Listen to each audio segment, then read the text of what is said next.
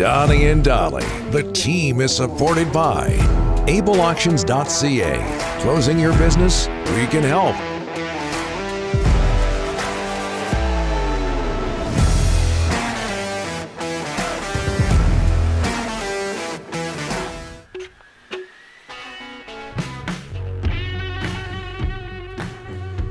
Just ahead of Thomas Drance, today's guests, including uh, Thomas and Ian Furness, coming up at 11. Brought to you by Langley Chrysler. Don't struggle to find a great deal on newer used vehicles when Langley Chrysler has over 200 vehicles on the lot. Save up to 10500 on Ram at Langley Chrysler in store or online at langleychrysler.com as we bring in Thomas Drance from The Athletic. How are you, sir? Thanks for doing this.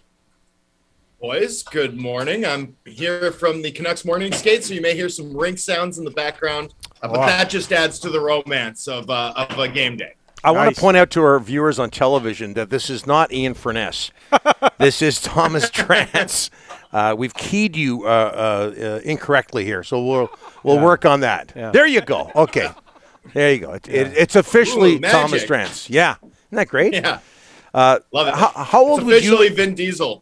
How, how old would you have been? We'll get we'll get to that in a second. How old would you have been November fifth, nineteen ninety one, when Pavel Bure made his Canuck debut? Four years. Don't remember a single thing before the 1994 Cup run. Uh, for me, like you know, hockey wise, I think I'd gone to a couple games uh, younger than that, but I don't have meaningful hockey memories before '94. And then the '94 game on my on my actual seventh birthday, my present was to go to Game Three of the Leafs Canucks uh, conference semifinal, which was like an absolute blowout, like a seven-one game. Um, just an incredible night. And I remember my uh, my dad gave me a birthday card uh, that was signed by Pavel Bure. Of course, it wasn't really. They just like lied Oh, to me. perfect, And then for and then for like a decade afterwards, I was like, remember when Pavel Bure gave me a birthday card? And they were like, "You're you're a naive idiot." Yeah. you just figured that out a week ago. Hey, uh, yeah. And yet, you know, you, you said you were three or four uh, back in 91, and yet you, like a lot of people, claim you were in the building. I bet that's you have to be a long-time Vancouverite uh, to get that. Hey, Thomas, great article in the uh, uh, Athletic. It's a stock watch, which Canucks are rising and falling through uh, 10 games. One of the risers is, if I can focus on one player, is Tyler Myers, which might surprise a lot of people. Why? Well, that pair with Oliver Ekman Larsson has been excellent. I mean, really, really good. And when you look at how their ice time is trending, right? Like it hasn't taken Travis Green much time to realize, hey, like I actually kind of need to play these guys more. And so we've seen their ice time tick up at five on five over the course of this homestand, and to good effect. They're continuing to control play. Uh, they're continuing to limit the damage uh, which opponents are doing in terms of shots, in terms of expected goals against the Canucks, better than any other Canucks defense pair.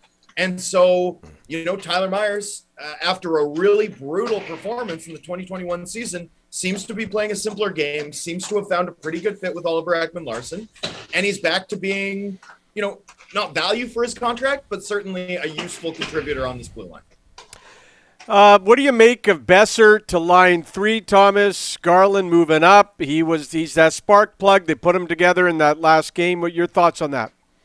Well, you need to put Garland with Pedersen. You need to put Garland on PP1. Rick, I'd have Garland working the concessions, taking tickets, checking vaccine passports. Like, there's nothing that you can ask Conor Garland to do where I'd say, hey, that's not worth a shot at this point, right? I mean, he's everything for this team right now. He's been clearly their best forward, clearly their most dynamic offensive player. And so, you know, when they when they put that line together with Miller and Pedersen, all of a sudden, Vancouver's top six started generating scoring chances. They they had zone time. There was like churning, dynamic shifts, the type that wear down your opponent, the type this team hasn't had any of all season long until the last two periods of the Rangers game. So, you know, I, I mean, I think it was a move that had to happen. I think it's a no brainer. Uh, as for Brock, you know, I don't know if there's some lingering effects from the injury that cost him the preseason and the first part of the regular season. Certainly the fact pattern there, though, Rick, the way Yeah. that the timeline wasn't sure off the bat, the way that we were watching to see if he'd get back for a few games suggests something that, you know, is nagging, like a nagging type of injury. Um, you know, we've been so laser focused on Pedersen and the and the and grouping the lotto line struggles together that I don't think we've spent a lot of time thinking about the fact that when you compare what Boeser did last year to what we've seen from him this year, and, and I'm specifically thinking like the shot's always going to play, but I'm thinking about the way that he was winning battles and in on the forecheck and kind of driving play. Um, I don't know that we've seen as much from um, from him in that area specifically this season. I do wonder how impacted or that is by perhaps some lingering injury issues. Uh, and we'll see how he fits with Podkolzin and Dickinson. But I like the idea of that pair because in or or that line because in Dickinson and Podkolzin, you've got two guys who can shoot the puck but don't necessarily need to carry it very much. I think that's a, a good challenge for Boeser as a playmaker. Uh, Thomas, they got to hit the road next week. So what's going to happen with Travis Hamonic? Uh, is he going to be able to go on the road? Uh, we obviously don't think he will be uh, due to the mm-hmm. vaccinations uh, situation. And does Rathbone get called up? What are you hearing? I mean, I'm not hearing much. They, you know, there's a clock. Like there is a clock at which point Travis Hamonic will become a fully vaccinated player under the league's COVID protocols, right? Like th- right. that is uh, an inevitability, and there is a certainty as to what time that happens. Um, the team won't disclose that. has has refused to disclose that. I pressed Travis Green on it earlier this week. Um, you know, they're citing privacy, but for me, uh, this just impacts the availability of a player. Like, will it be a violation of privacy when he can't go on the road trip? Like, that doesn't make sense, right? Yeah, so, right. You know, it, for me, I'm not just looking at this one, but there's another road trip with three games in the United States in late November. Yeah. Um, you know, I'm not even sure about that one. As for what they'll do, you know, I, I think they'll take eight defensemen. You want to have that extra body or two, uh, just in case you have a couple of injuries, especially with back to backs. Um, you know, in in Vegas and Anaheim, on that trip, you, you don't want to risk having to sort of fly a guy down, especially with how hard it is to cross the border these days. So, you know, calling up Rathbone does make some sense. Um, getting Hamonic some games in the American League does make some sense, but of course yeah. they wouldn't have to do that necessarily either. He can just sort of come up, come off the cap, um, and create a roster spot because of the way the NHL protocols are written and how they pertain to players that are considered unvaccinated individuals.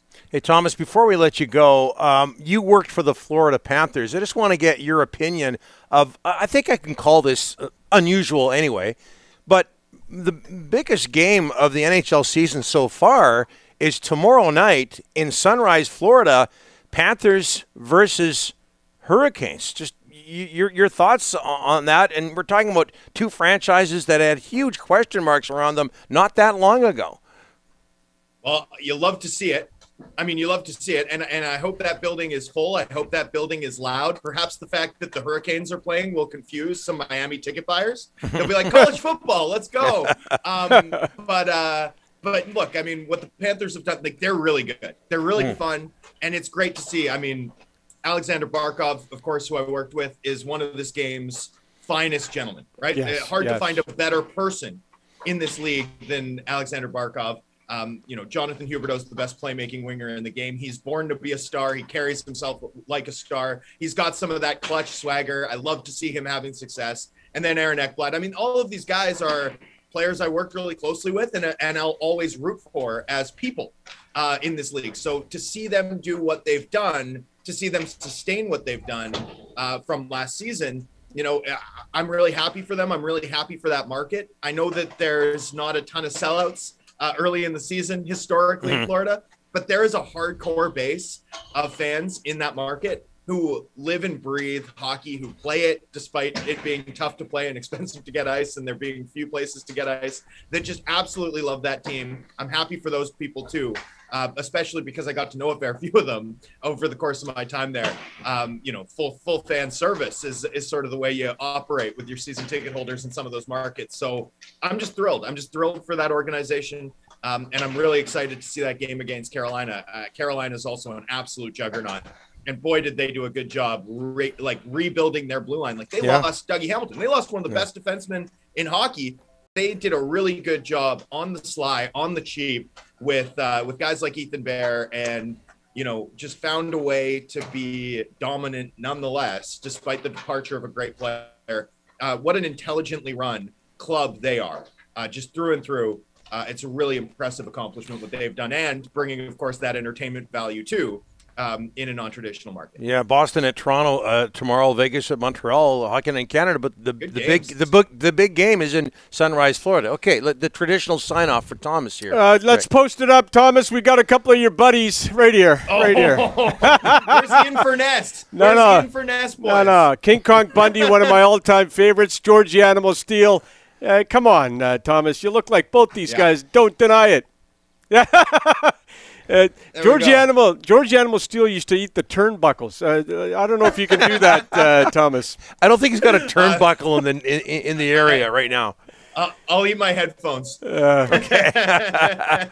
All right, Thomas, appreciate it. See you next week, or talk to you next week. Thanks, boys. Cheers.